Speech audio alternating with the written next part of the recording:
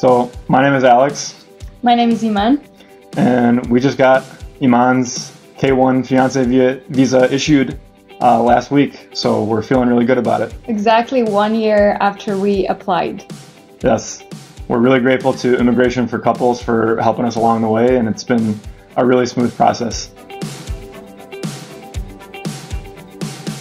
In terms of emotional impact or stress, I think we were pretty much confident overall. Uh, to be completely honest, I, I was sometimes a little bit anxious just because we were just waiting and we did not know when the answer would come. Uh, for me, that was like the tougher part, just just the wait, just waiting and not being able to do anything because, well, you have to wait for them to give you any feedback. Uh, we traveled a lot. We spent a lot of time with family and friends. Uh, that time also allowed us to get to know our respective families a little bit more because his family is in the US, my family was a little bit scattered, but most of them uh, were in Morocco. Uh, but we were able to travel with our family in different places, which I think was very important during that time to just make it even stronger, like the relationship and the dynamic between both families. Yeah. And one quick thing that I'll add is, you know, in the waiting period, yes, you're waiting, but you're also planning for the next step. And that's where Immigration for Couples was really helpful. We were always one step ahead of where we needed to be. They were always reaching out to us proactively and telling us what documents and what information we needed to have ready for the next step. So uh, I really felt comfortable that we were in good hands the whole time. We were surprised that the approval got way earlier than we expected. I think at least seven or eight months earlier than the expected date. Uh, so that was a really nice surprise.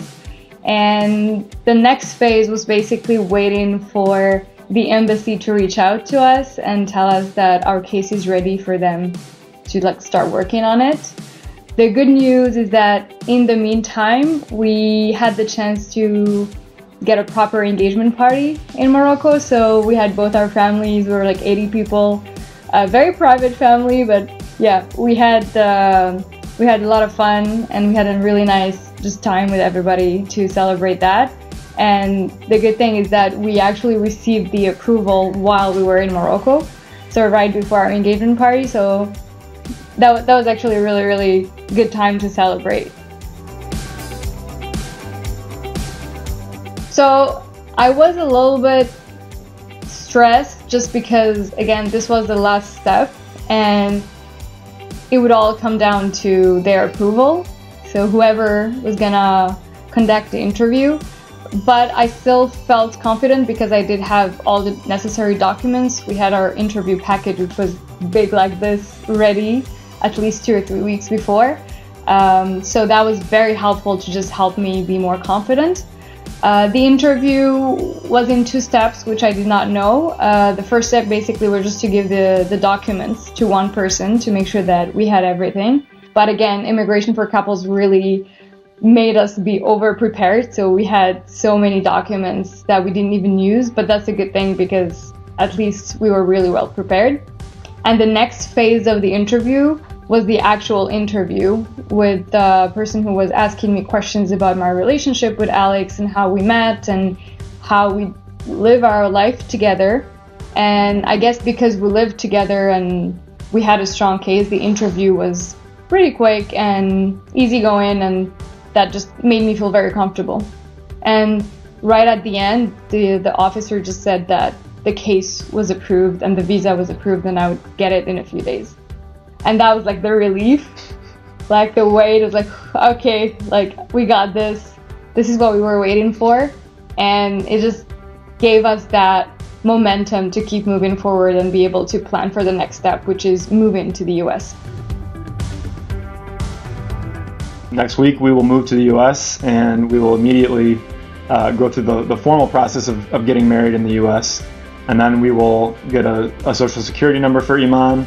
We will uh, submit for her actual green card application, work permit, uh, travel permit, all these different things. And then we'll have another little bit of a waiting period while we're waiting for those things to be issued. But uh, again, we've already started working with Immigration for Couples to compile all that information and, and be ready even before we move to the US. So we're, we're feeling good about our next steps from here.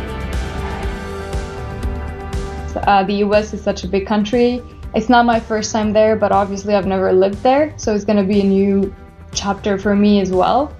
Uh, but I'm actually looking forward to being in a new country with different cultures because it's not just one culture. I know like there's the US culture, but the beauty of the country is that it's very diversified, and I'm looking forward to experiencing that. And looking towards the future, um, we get to focus on all the fun stuff now. We get to focus on planning our wedding with all of our family and friends. We get to focus on, uh, you know, working to build a family together.